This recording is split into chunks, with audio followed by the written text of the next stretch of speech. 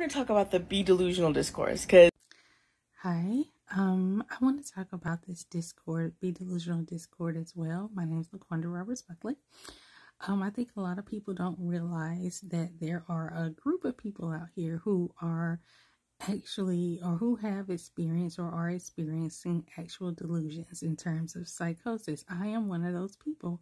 I manage bipolar dis um, one disorder with a history of psychosis, and you know while y'all are screaming being delusional regarding a goal, I lost um my ability to work for three years.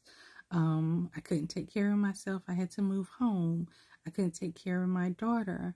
Um, I was hospitalized, um, taking medications with um, horrible effects at times. And so when you are saying, oh, be delusional regarding the goal, I don't think a lot of you, a lot of people really understand um, how triggering um, seeing y'all talk about being delusional regarding a goal when delusions destroys people's lives every single day. And I think it's easy to forget um, forget that because you don't hear people talk about delusions as much as you hear um, about anxiety and depression because people don't want to discuss if they've experienced um, psychosis. Um, I am grateful and thankful that I've been able to maintain my career in the field of mental health. I'm a retired therapist.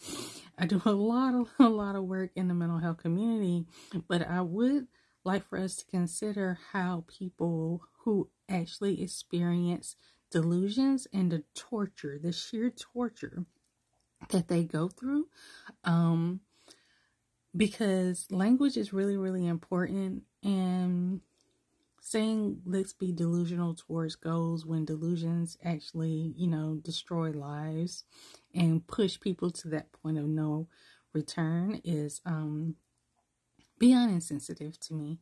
Um, but you know, we all learn and grow as we learn how things affect other people. And again, we don't hear a lot about psychosis simply because um, people are afraid to say um, that I've experienced um, psychosis and delusions um, because of stigma and discrimination um, in regards to mental health.